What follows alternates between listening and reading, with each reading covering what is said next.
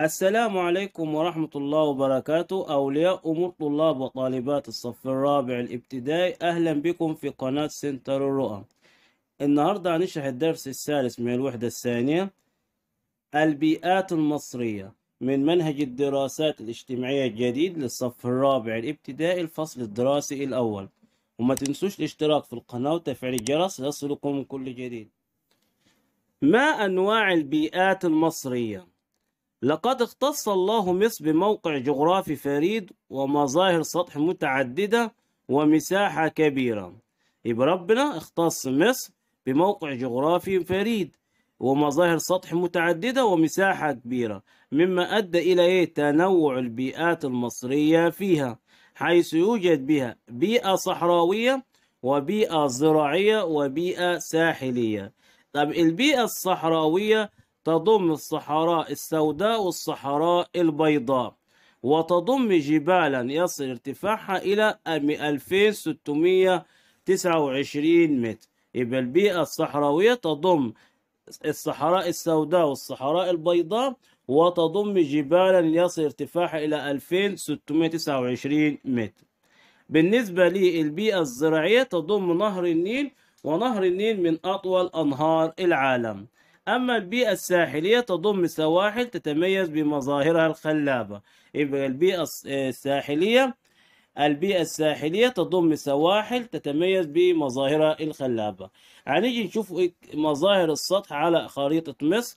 أول حاجة عندنا البيئة الصحراوية تتمثل في الصحراء الغربية والصحراء الشرقية وشبه جزيرة سيناء. أما البيئة الزراعية تتمثل في دلتا النيل ووادي النيل دلتا النيل ووادي النيل. أما البيئة الساحلية تتمثل في سواحل البحر الأحمر وسواحل البحر المتوسط وسواحل خليج السويس وخليج العقبة في شبه جزيرة سيناء. هنحل مع بعض سؤال افهم مطبق واحد. لاحظ وحدد.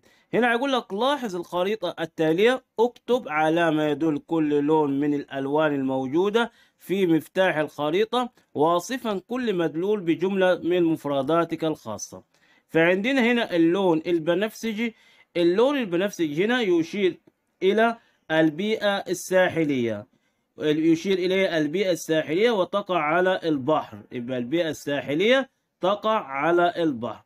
أما اللون الأصفر البيئة الصحراوية وتنتشر بها الرمال. اللون الأخضر البيئة الزراعية توجد بها الزراعة. البيئة اللون يبقى اللون الأخضر البيئة الزراعية وتوجد بها الزراعة. ما الخصائص الطبيعية للبيئات المصرية؟ هيقول لك إن لكل بيئة من البيئات المصرية خصائص طبيعية تميزها تتمثل هذه الخصائص في أول حاجة هناخده البيئة الصحراوية. البيئة الصحراوية تمثل معظم مساحة مصر. يبقى معظم مساحة مصر بيئة صحراوية. توجد فين؟ توجد في الصحراء الغربية والصحراء الشرقية وشبه جزيرة سيناء. وادي على الخريطة البيئات الصحراوية توجد في الصحراء الشرقية والصحراء الغربية وشبه جزيرة سيناء طب إيه خصائص البيئة الصحراوية؟ خصائص البيئة الصحراوية بتنتشر فيها المنخفضات زي منخفض القطارة والكثبان الرملية مثل بحر الرمال العظيم في الصحراء الغربية. بحر الرمال العظيم في الصحراء الغربية.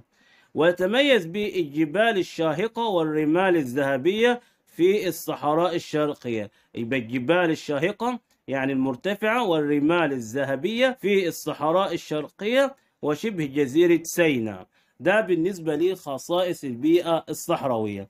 يبقى البيئة الصحراوية تتمثل في الصحراء الغربية والصحراء الشرقية وشبه جزيرة سيناء طب إيه خصائص البيئة الصحراوية؟ تنتشر فيها المنخفضات والكثبان الرملية مثل بحر الرمال العظيم في الصحراء الغربية والجبال الشاهقة والرمال الذهبية في الصحراء الشرقية وشبه جزيرة سيناء في الصحراء الغربية الكثبان الرملية. إيه هي الكثبان الرملية؟ هي تجمعات كبيرة من الرمال. يبقى الكثبان الرملية عبارة عن تجمعات كبيرة من الرمال. طب الصحراء البيضاء إيه هي الصحراء البيضاء؟ قال لك الصحراء البيضاء يغطيها اللون الأبيض وتعتبر إيه؟ تعتبر متحف مفتوح لدراسة المظاهر التضاريسية والحفريات والحياة البرية. يبقى الصحراء البيضاء الصحراء البيضاء يغطيها اللون الأبيض وتعتبر متحف مفتوح لدراسة إيه؟ المظاهر التضاريسية والحفريات والحياة البرية. أما الصحراء السوداء تتميز بجبالها وهضابها المغطاة باللون الأسود ليه؟ بسبب بقايا الانفجارات البركانية التي جفت على مدار على مدى ملايين السنين يبقى الصحراء السوداء تتميز بجبالها وهضابها المغطاة باللون الأسود بسبب إيه؟ بسبب بقايا الانفجارات البركانية التي جفت على مدى الملايين السنين فهنا يجيك سؤال يقول لك فسر سبب تسمية كل من الصحراء البيضاء والسوداء بهذا الاسم.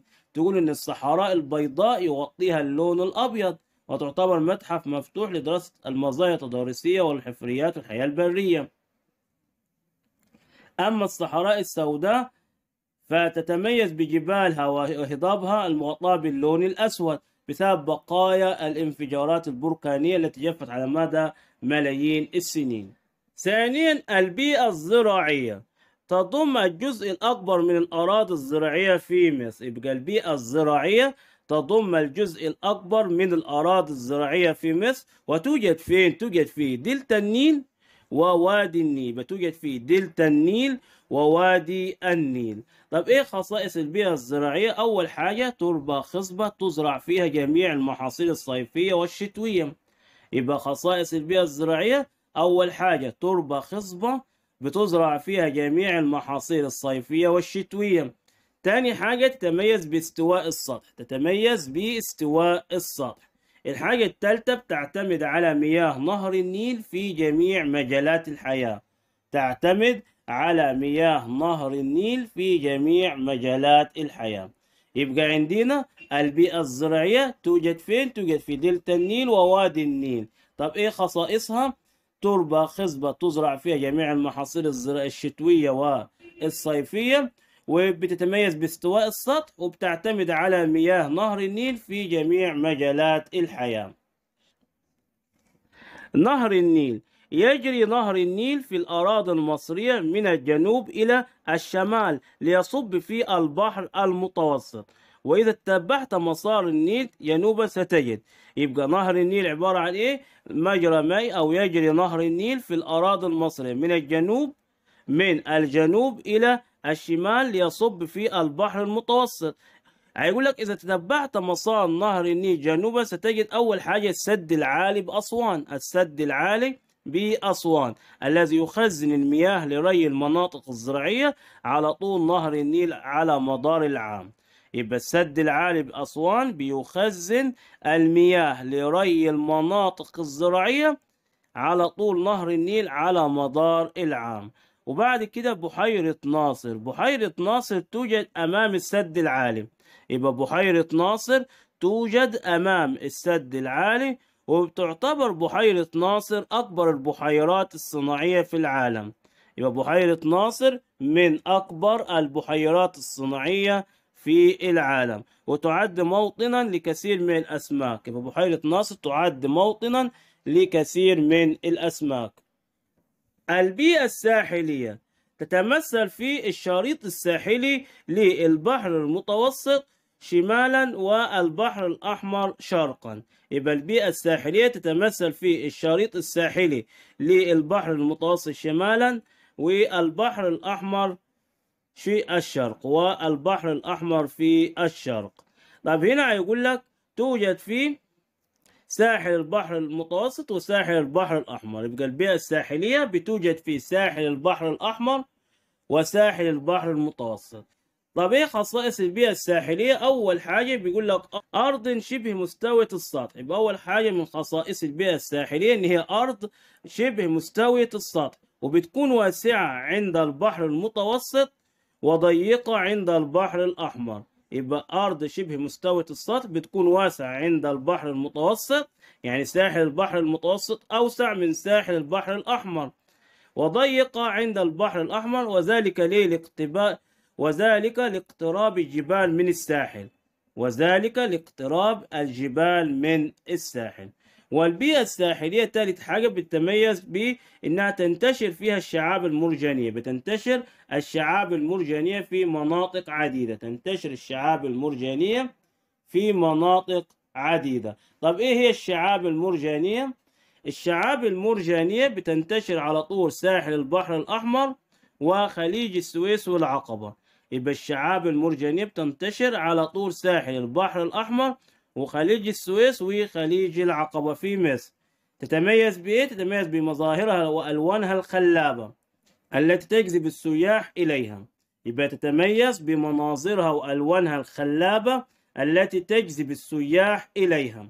يبقى تتميز بمناظرها وألوانها الخلابة التي تجذب السياح إليها. ده مين الشعاب المرجانية. هنحل مع بعض سؤال افهم مطبق اتنين. هنا هيقول لك انسب المظاهر التالية إلى البيئة الطبيعية التي تنتمي إليها. فعندك أول عبارة يقول لك أطول أنهار العالم دي إيه؟ البيئة الزراعية. تاني حاجة يقول لك الصحراء البيضاء والصحراء السوداء ده البيئة الصحراوية. نعلم هنا على البيئة الصحراوية. طب جبال شاهقة وهضاب متعددة برضو البيئة الصحراوية. نعلم على البيئة الصحراوية. رقم أربعة تجمعات كبيرة من الرمال لها أشكال مختلفة. تجمعات كبيرة من الرمال لها أشكال مختلفة. دي برضو بيئة صحراوية. رقم خمسة أكبر بحيرة صناعية في العالم. أكبر بحيرة صناعية في العالم البيئة الزراعية. شعاب مرجانية ذات ألوان خلابة البيئة الساحلية. رقم سبعة تربة خصبة تزرع فيها المحاصيل الصيفية والشتوية البيئة الزراعية. افهم وطبق ثلاثة اقرأ واجب. هنا يقول لك ما نوع البيئة التي تصفها كل جملة من هذه الجمل؟ ويجيب لك زراعية ولا صحراوية ولا ساحلية. هنقرأ مع بعض أول جملة. توفر لنا الحبوب والفاكهة والخضار لتلبية حاجاتنا. ده بيئة بيئة زراعية. طب تاني حاجة يقول لك عند زيارة هذا المكان أحمل احمل معك زجاجة ماء لأن الحر يكون شديدا وضع نظارات شمسية لتحمي عينيك من الرمال التي قد تدخل فيها. ده من ده بيئة صحراوية. ده إيه؟ بيئة صحراوية. رقم ثلاثة لا يمكن شرب الماء منها لكن يمكنك اللعب على شواطئها ده بيئة ساحلية. رقم أربعة تعتمد الحياة فيها على مياه الآبار البيئة الصحراوية. هنحل مع بعض افهم وطبق خمسة. هيقول لك فكر وأجب. تخيل أنك ستزور الأماكن التالية. حدد نوع البيئة التي تتوقع أن تشاهدها في كل منها. والأنشطة التي يمكن أن تمارسها فيها. أول حاجة يقول لك الإسكندرية في الإسكندرية ده بيئة بيئة ساحلية. الإسكندرية نوع البيئة ساحلية والأنشطة الصيد والسياحة. يبقى الإسكندرية بيئة ساحلية والأنشطة التي تمارس فيها أنشطة الصيد والسياحة. رقم اثنين الغردقة. الغردقة نوع البيئة بيئة ساحلية والأنشطة الصيد والسياحة. الصحراء البيضاء نوع البيئة بيئة صحراوية والأنشطة برضو السياحة. أسوان بيئة زراعية الأنشطة الزراعة والسياحة. افهم وطبق ستة هنا فكر وعبر اكتب مسرحية من فصل واحد تتناول بيئة من البيئات المصرية الثلاثة اللي هي الزراعية أو الصحراوية أو الساحلية توضح فيها خصائص البيئة وأهم ما يميزها ثم اكتب عنوان للمسرحية ملخصا لأهم أحداثها. فهنا عندنا عنوان المسرحية هنختار البيئة الزراعية. طب ملخص المسرحية فلاح مصري يعيش في محافظة من محافظات الوجه البحري. طب أهم الأحداث الفلاح لديه أرض زراعية يقوم بزراعتها بمياه نهر النيل والتربة الخصبة حولها. أهم الأحداث الفلاح لديه أرض زراعية يقوم بزراعتها بمياه نهر النيل والتربة الخصبة حولهم. وبكده يكون وصلنا معاكم لنهاية درس النهاردة. أرجو يكون استفدتوا معنا متنسوش الاشتراك في القناة وتفعيل الجرس ليصلكم كل جديد. والضغط على زر الإعجاب والسلام عليكم ورحمة الله وبركاته.